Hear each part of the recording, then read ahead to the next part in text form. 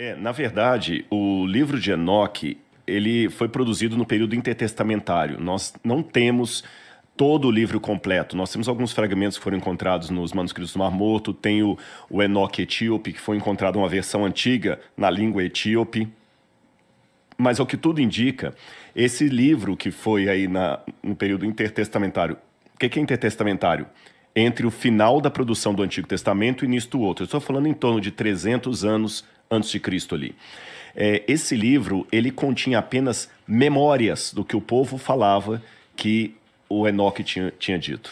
E não era necessariamente o, as profecias de Enoque, como você tem as profecias do Apocalipse de João. Uhum. Tá certo? Tanto é que a comunidade judaica. Você está dizendo basicamente que era, um, era é, o livro de João foi João que meteu a mão e escreveu. João que meteu a mão e escreveu, tá. exatamente. O Enoque não foi o Enoque que meteu a tá. mão e escreveu.